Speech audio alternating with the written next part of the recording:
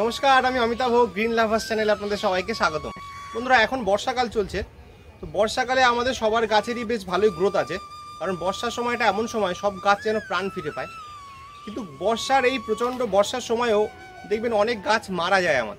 তো মারা যায় কিছু কারণে ব্যাকটেরিয়ার আক্রমণ ঘটে, ছত্রাকের আক্রমণ ঘটে, জল ঠিকঠাক ড্রেনেজ না হলে মারা যেতে পারে।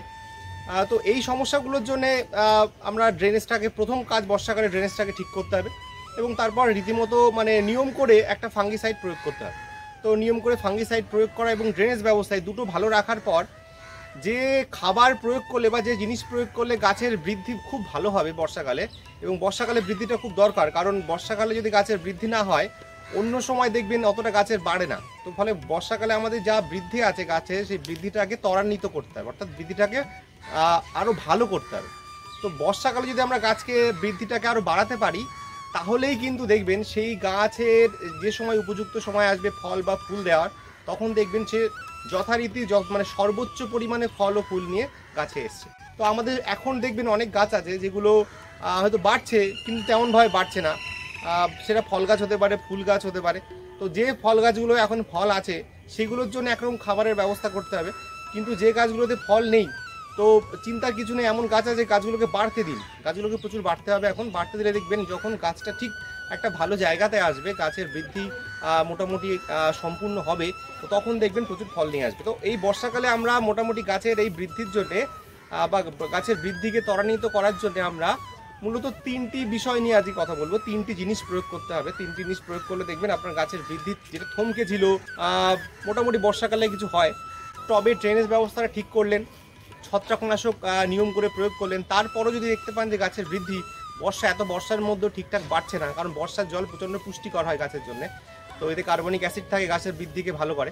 তো এই যে ব্যাপারটা আছে, তারপরেও যদি দেখতে পাচ্ছেন যে গাছের বৃদ্ধি ভালো হচ্ছে না, তো তখন কি কি করতে হবে? তখন সেটাই ভিডিওতে কথা বলব, সেটা নিয়ে।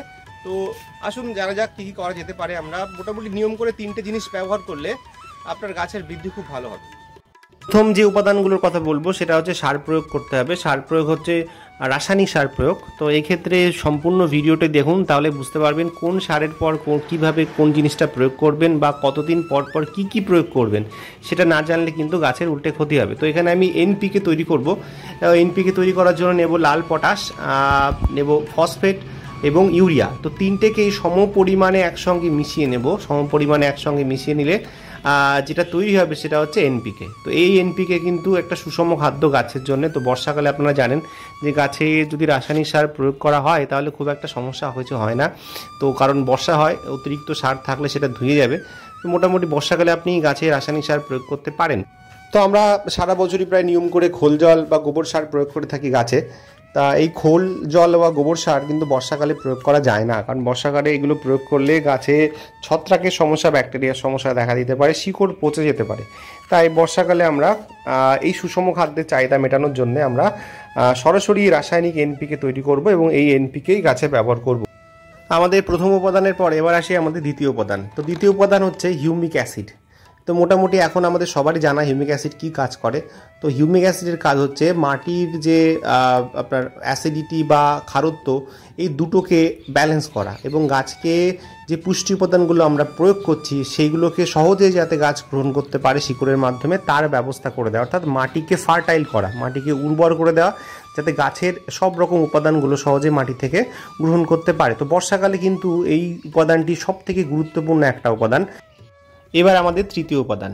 তো এই উপাদানটি হলো মিরাকুলান, যেটা আমাদের প্রায় সবারই পরিচিত। তো আমাদের সবার কাছেই এটা আছে। তো এটা হচ্ছে প্ল্যান্ট গ্রোথ রেগুলেটর বা পিজিআর যেটা গাছের বৃদ্ধিকে আরও ভালো করে। তো বর্ষাকালে কিন্তু আমাদের এটাও প্রয়োগ করতে হবে। তো এই তিনটি উপাদান আপনারা জানলেন, তিনটি উপাদান সম্পর্কে দেখলেন, কিন্তু এবার তিনটি উপাদানকে কীভাবে প্রয়োগ করবেন তিনটি উপাদানের কোনটি কখন প্রয়োগ করবেন এবং কোনটার পর কোনটি এবং কোনটি কতদিন পর প্রয়োগ করবেন সেটা জানতে হবে। তো সবার প্রথমে আমরা যেটা প্রয়োগ করব সেটা গাছের খাদ্য বা সার। যেটা সবার প্রথম প্রয়োগ করব সেটা হচ্ছে এনপিকে এনপিকেটা প্রয়োগ করব প্রথমে গাছের গোড়া খুঁচিয়ে ভালো করে মিশিয়ে দেবো। বর্ষাতে এমনি গাছে মিশিয়ে যাবে। প্রতি দশ ইঞ্চি টবের জন্য এক টেবিল চামচ করে আমরা এনপিকে দেবো। এই এনপিকে দেওয়ার পরে গাছের কী হবে? কিছুদিন সময় নিতে হবে যাতে গাছ এটা গ্রহণ করতে পারে। সঙ্গে সঙ্গে কিন্তু গাছ খাবার নিতে পারে না, তাই কিছুদিন অপেক্ষা করতে হবে। তারপর করতে হবে আমাদের দ্বিতীয় কাজ, অর্থাৎ এনপিকে প্রয়োগ করার পর এক সপ্তাহ অন্তত অপেক্ষা করতে হবে। তো এবার প্রয়োগ করব আমরা হিউমিক অ্যাসিড তো হিউমিক অ্যাসিড দেখতে এরকম কালো হয়, কয়লার গুঁড়োর মতো হয় কালো। তো হিউমিক অ্যাসিডকে আমরা এভাবে প্রয়োগ করতে পারি না, জলে গুলে প্রয়োগ করতে হয়। তো হিউমিক অ্যাসিডকে প্রতি লিটার জলে দু গ্রাম হিসেবে আমরা জলে গুলে নেব। তো জলে গুললে সেটা কালো বর্ণে একটা দ্রবণে পরিণত হবে। তো হিউমিক অ্যাসিড দিলে যেটা হবে, সেটা হচ্ছে আপনি সাত থেকে দশ দিনের পরে দেবেন। যেদিন আপনি এনপিকে দিয়েছেন, তার সাত থেকে দশ দিন পর যদি হিউমিক অ্যাসিড গাছের গোড়ায় প্রয়োগ করে, গাছ তখন শিকড়ের মাধ্যমে সহজেই সেই খাবারটা গ্রহণ করতে পারবে। অর্থাৎ যে আপনি এনপিকে গাছকে বৃদ্ধির জন্য দিয়েছিলেন, সেটা মাটিতে মিশে গেছে। এবার মিশে যাওয়ার পর আপনি হিউমিক অ্যাসিড দিয়ে সেই মাটিকে উর্বর করে দিলেন, যাতে গাছ সহজেই সেই দ্রবণটাকে গ্রহণ করতে পারে। অর্থাৎ মাটির উর্বরতাকে আপনি বৃদ্ধি করলেন। হিউমিক অ্যাসিড কিন্তু কোনো সার নয়, কিন্তু এই সারগুলোর কার্যকারিতাকে বৃদ্ধি করে, অর্থাৎ গাছকে খাওয়াতে সাহায্য করে। ফলে গাছ এমনিতেই হৃষ্টপুষ্ট হয়ে ওঠে আস্তে আস্তে। এবার আমাদের শেষ জিনিস, মিরাকুলান। তো মিরাকুলানের প্রয়োগ করার নিয়ম হচ্ছে, আপনি যখন হিউমিক অ্যাসিড প্রয়োগ করেছেন, তার তিন থেকে পাঁচ দিন পর প্রয়োগ করবেন মিরাকুলান। তো মিরাকুলানে যেটা থাকে রাসায়নিক উপাদান, সেটা ট্রাইকন্টানল, যা গাছের সবুজ অংশকে দ্রুত বৃদ্ধি করে। অর্থাৎ গাছের পাতা, শাখা পোশাকা নিয়ে আসে। তো এই পাতা, শাখা পোশাকা সব বৃদ্ধির জন্য গাছের খাদ্যের দরকার। তো খাদ্য আমরা প্রথমেই দিয়ে দিয়েছি এবং সেই খাদ্য নেওয়ার জন্য আমরা দিয়েছি হিউমিক অ্যাসিড যাতে গাছ সহজে খাবার নিতে পারে। এইবার যদি আমরা মিরাকুলান বা প্ল্যান্ট গ্রোথ রেগুলেটর কিছু প্রয়োগ করি, তখন গাছের বৃদ্ধি ত্বরান্বিত হবে। প্রচুর পরিমাণে গাছের শাখা পোশাকা ডালপালা বৃদ্ধি পাবে। অর্থাৎ স্বাভাবিক অবস্থায় যে পরিমাণে গাছের বৃদ্ধি হয়, তার থেকে অনেক বেশি বৃদ্ধি হবে এই সময়। ফলে আমরা বর্ষাকালে একটা সুস্থ, হৃষ্টপুষ্ট একটা গাছ দেখতে পাবো। অর্থাৎ এই যে প্রয়োগের নিয়ম, এই নিয়ম যদি আপনি ফলো করেন, তাহলে কিন্তু আপনার গাছের বৃদ্ধি খুবই ভালো হবে। তো এইটা নিয়মটা আমি আরেকবার রিপিট করছি। নিয়মটা হচ্ছে, প্রথম আপনি এনপিকে প্রয়োগ করলেন। এনপিকে প্রয়োগ করার মোটামুটি সাত থেকে দশ দিন পর আপনি হিউমিক অ্যাসিড প্রয়োগ করবেন এবং হিউমিক অ্যাসিড প্রয়োগ করার তিন থেকে পাঁচ দিন পর আপনি গাছে মিরাকোলান স্প্রে করবেন। এবং এই পদ্ধতি মোটামুটি পঁচিশ থেকে কুড়ি, পঁচিশ দিন পর পর আপনি যদি প্রয়োগ করতে থাকেন, অর্থাৎ এই সার্কুলার মোশানে আপনি যদি কুড়ি, পঁচিশ দিন পর পর আপনি ব্যবহার করতে থাকেন, তাহলে কিন্তু গাছের সর্বোচ্চ বৃদ্ধি হবে এই বর্ষাকালে। এবং যেটা অন্যান্য সময় দেখবেন, তা প্রচুর পরিমাণে ফল বা ফুলে আপনার গাছ ভরে গেছে। তো আশা করি এই পদ্ধতি ব্যবহার করলে আপনার গাছ এরকম দেখতে পাচ্ছেন, আমার গাছগুলো কেমন ফলে ভরে আছে। তো এরকম ফল, ফুলে ভর্তি, সুস্থ এবং খুবই হৃষ্টপুষ্ট গাছে পরিণত হবে।